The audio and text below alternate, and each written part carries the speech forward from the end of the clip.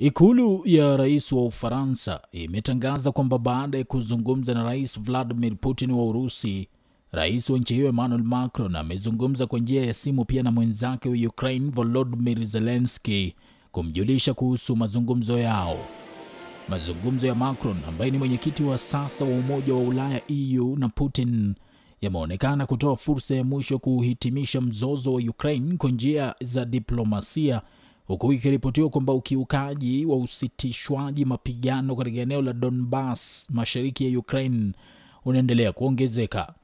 Ofisi ya rais wa Ufaransa imeeleza katika taarifa kwamba mazungumzo ya simu kati ya rais Emmanuel Macron wa nchi hiyo na rais Vladimir Putin wa Urusi yalidumu kwa muda wa saa moja dakika 45. Kwa mujibu wa ikulu ya Urusi, Kremlin, katika mazungumzo aliyofanya kwa njia ya simu na rais wa Ufaransa, Putin ametaka shirika la kijeshi la NATO na Marekani na nanukuu, zichukulie kwa uzito, mwisho wa nukuu, madai ya nchi yake kuhusu usalama wake ambao ndio kiini cha mzozo wa sasa kati ya Moscow na nchi za Magharibi.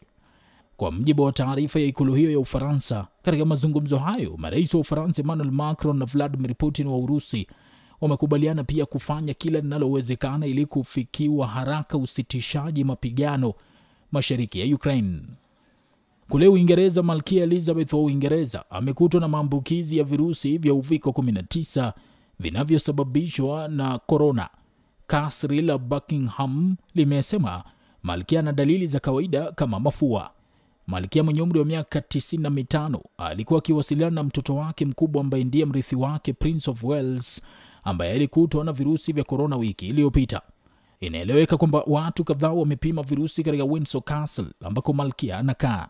Kasri la Buckingham limesema kwamba kiongozi huyo ataendelea kufanya shughuli zake nyepesi katika kasri la Windsor katika kipindi cha wiki chache zijazo na ataendelea kutibiwa na kufuata mwongozo wa kupambana na maambukizi ya virusi vya korona.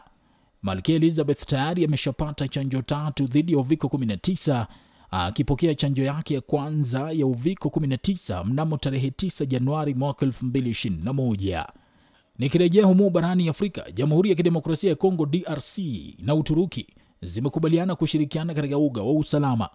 Makubaliano hayo yamefikiwa baina ya rais wa Uturuki Recep Tayyip Erdogan ambaye yuko ziarani Jamhuri ya Kidemokrasia ya Kongo na mwenyeji wake Rais Felix Tshisekedi. Rais wa Jamhuri ya Kidemokrasia ya Kongo DRC Felix Tshisekedi, baada ya kukutana na kiongozi huyo wa Uturuki, amesema wamefikia makubaliano yenye ushindi kwa pande zote mbili, nchi yake na Uturuki. Katika ziara hiyo rasmi ya kiserikali ya siku mbili iliyoitwa ya kihistoria nchini Kongo, Rais Recep Erdogan aliandamana na ujumbe wa maafisa wa serikali yake pamoja na wafanyabiashara. Sakali Dalmas, taswira kimataifa.